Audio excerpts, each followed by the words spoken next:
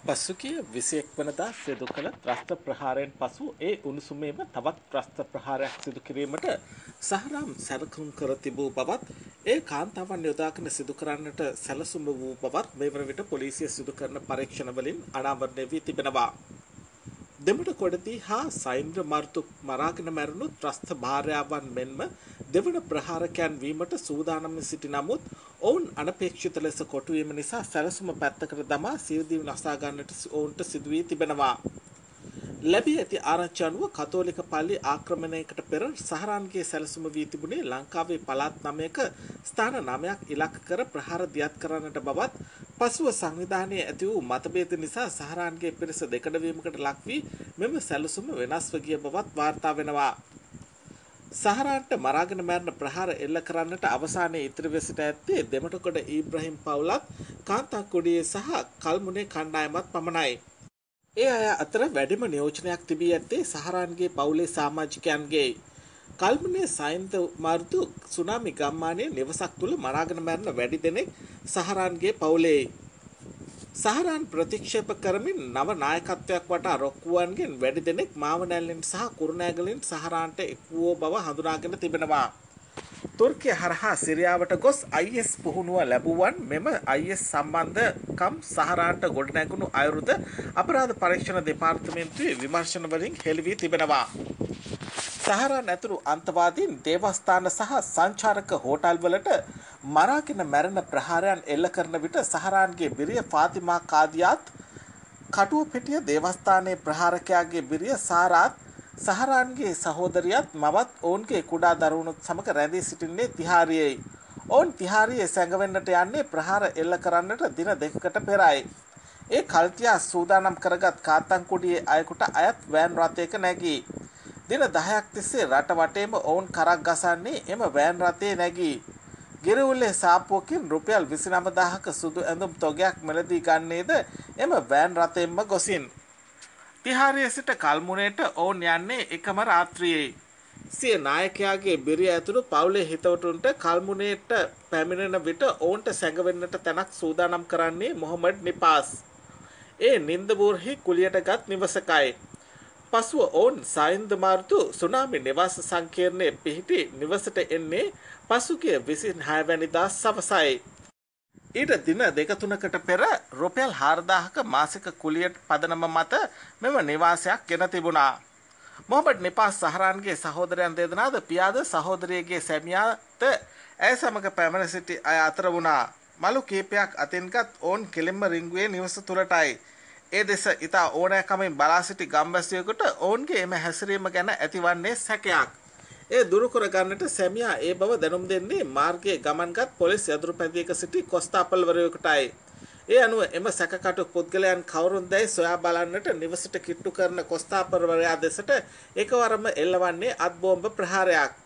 ඒ නිවසේ වහලේ මත රැකවල්ගාගෙන සිටි අන්තවාදියෙකු නෙවෙයි. සීරිම් තුවාලයක්වත් නොමැතිව දිවි බේරා ගැනීමට තරම් කොස්තාපල්වරයා වාසනාවන්ත වුණා.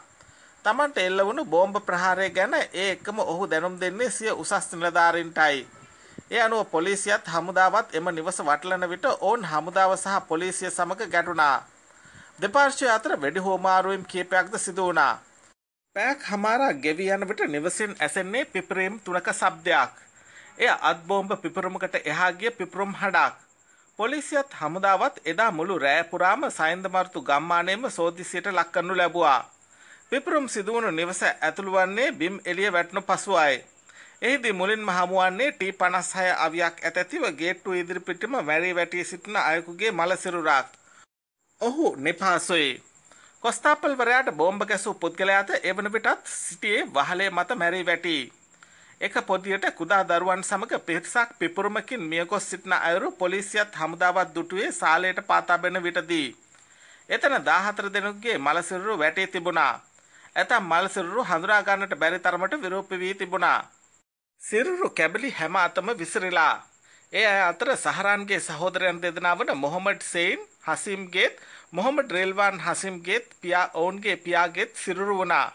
රෝ ඔත්තුවේ සඳහන් මරාගෙන මැරෙන ප්‍රහාරකයන්ගේ නම් ලයිස්තුවේ රිල්වාගේද නම සටහන්ව තිබුණා. මේ අයට අමතරව සහරාන්ගේ බාල නැගණිය මොහොමඩ් සහිරා හසීම්ගේද ඇගේ සැමියා වන මොහොමඩ් විෂාද්ගේද මල සිරුරද සාරාරගේ සිරුරද සාලේ මැරී වැටේ සිරුණු අතර වුණා. එම මල සිරුරු පරීක්ෂා කරමින් සිටි පොලිසිය සහ හමුදාවේ නිලධාරීන්ට වේතනාවෙන් කේන්ද්‍රීගාමින් සිටින කාන්තාවකගේ දරුවකුගේ හැඳුමක් අසන්නට වුණා. ඒ හඬ ඇසෙන්නට වූයේ නිවසේ කාමරයකින්. ඒ කාන්තාවක සහ දරුවකු සිටින්නේ පිපුරුමෙන් තුවාල ලබලායි.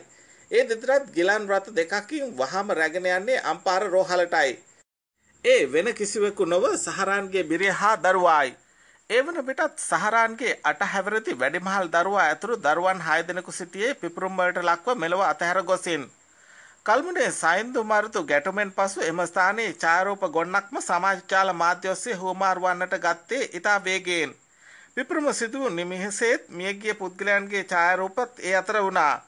ඒ එක් ඡායාරූපයක මලමිනි අතර ඉටි බෑගයක් කෙරෙහි එක්තරා පුද්ගලයෙකුගේ විශේෂ අවධානයක් යොමු වුණා. එය එම පුද්ගලයා හොඳින් දන්නා හඳුනන අයෙකු කළමනාකරු ලෙස සේවයක් නිරතව සිටි ගිරි උල්ලේ පිහිටි රෙදි සාප්පුවකට අයත් බෑගයක්. වහම ඔහු කළමනාකරුට ඇමතුමක් ගත්තා. එකී ඡායාරූපය ගැන ඔහුට කීවා. ඒත් එකම කළමනාකරු ක්‍රියාත්මක වුණා. සිය ආයතනයේ ආරක්ෂක කැමරා දර්ශන දින කිහිපයක් තිස්සේ ආපස්සට පරීක්ෂා කරනු ලැබුවා. 19 වෙනිදා ඔහුගේ සාප්පුවට බුර්කාවලින් සැරසුණු කාන්තාවන් කිහිප දෙනෙකු පැමිණ භාණ්ඩ මිලදී ගන්නා බවත් ඔහුට එහිදී නිරීක්ෂණය වුණා. එම කාන්තාවන් මිලදී ගන්නේ මොනවාදයි ඔහු පරීක්ෂා කරා. එහිදී පෙනී යන්නේ රුපියල් 29000ක සුදු පැහැති බ්ලවුස්, කර්ට්, බ්‍රෙසියර් ආදී සෑම එකකින්ම 9 බැගින් මිලදීගෙන ඇති බවයි. ඊට අමතරව සෙල්ලම් බඩු දෙකක්ද මිලටගෙන තිබුණා. ඔවුන් එහි පැමිණ ඇත්තේ වෑන් රථයකින් බවද කළමනාකරු ආරක්ෂක කැමරා මගින් අනාවරණය කරගත්තා. පසුව ඒ බව ඔහු පොලිසියට දැනුවත් කරනු ලැබුවා. එම සුදු ඇඳුම් කෙරෙහි කොයි කාගේත් අවධානය යොමු වන්නේ ඒ සමගින්. එම සුදු ඇඳුම් කට්ටල නමෙන් සයින්දු මාර්තු නිවසේ තිබියදී සුදු ඇඳුම් කට්ටල හතක් පමණයි. සෙසු ඇඳුම් දෙකට සිදුවූයේ කුමක්දයි මෙතෙක් අභිරහසක්. එම සුදු ඇඳුම් ඔවුන් මිලදී ගත්තේ ඇයිදැයි සමාජයේ මේ වන විට ඇත්තේ කුසුසක්. ඊට පිළිතුරු දීමට දැන් ඉතිරිව සිටින්නේ එක් අයෙක් පමණයි. ඒ සුදු ඇඳුම් මිලදී ගැනීමේදී ගිරිඋල්ලේ සාප්පුවට ගිය කාන්තාවන් තිදෙනා අතර සිටියේ සහරාන්ගේ බිරිය පමණයි. අම්පාර රෝහලේ දැඩි පොලිස් ආරක්ෂාව සහිතව සිටින ඇය ඒ ගැන පවසන්නේ සුදු ඇඳුම් මෙලදී ගත්තේ ඇයිදයි Taman නොදන්නා බවයි. එම සුදු ඇඳුම් මෙලදීගෙන ඇත්තේ දෙවනි ප්‍රහාරයකට සූදානමින් සිටි පුලස්ති රාජේන්ද්‍රන් හෙවත් සාරායි. ඉස්සරහට ඕන වෙයි. ඒකයි ගත්තේ. ඒ ගැන විමසු විට සාරා පැවසුවේ යයි සහරාන්ගේ බිරිඳ ෆාතිමා පවසා තිබෙනවා. පාස්කු ප්‍රහාරයෙන් පසු බියට පත්වන එඬේර මුල්ලේ නිවසේ සැඳී සිටි අය එදින රාත්‍රියේම නිවස අතහැර පලා ගියා. මොහමඩ් ඉර්ෂාර් සැඟවන්නේ උලපනේ පිහිට සිය නිවසේමයි. මොහමඩ් රනීස් සහ මොහමඩ් නව්ෆාර් පැන යන්නේ මඩ කලපුවටයි. විසි එක් වනදා රාත්‍රිය දඹුල්ල පොලිසියට ඔවුන් කොටුවන්නේ ඒ යන ගමනේ.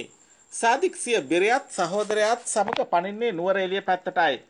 ඔහු රැවුල් කොණ්ඩ කපා සිංහල වෙස්කෙන්න තෙරුවන් සරණයි යයි ඇලවූ ස්ටිකරයක් සහිත වෑන් රථයකින් රට පුරාම කරක් ගැසුවා. අවසානයේදී ඔහු සිය බිරිය මාවනැල්ලෙන් අතහැර යන්නේ වෙන කරන්නට දෙයක් නැතිම තැනයි. ඒත් එක්කම අපරාධ පරීක්ෂණ දෙපාර්තමේන්තුවේ විමර්ශකෝ ඇව අත්අඩංගුවට ගත්තා. සාදික් සහ සයිඩ් යන සොහොයුරන් දෙදෙනා පොලිසියට කොටුවන්නේ ඊට දින කිහිපයකට පසුවයි. ඒ ඔවුන්ගේ ඥාතියෙකුට අයත් ගම්පල පිහිටි පාවාහන් වෙළඳසැලක සැඟවී සිටියේදී සහරාන් කරන්න යන්නේ මෙච්චර ලොකු වැඩක් කියලා අපි දැනගෙන හිටියේ නැහැ.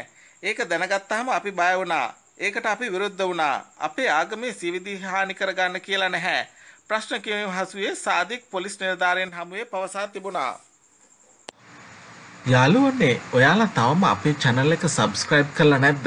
එහෙනම් subscribe button එක ඔබලා subscribe කරන්න. සීනුව සලකුණ ඔබලා දිනපතා අපගේ නව වීඩියෝ බලන්නත් ඔබට අවස්ථාව තියෙනවා.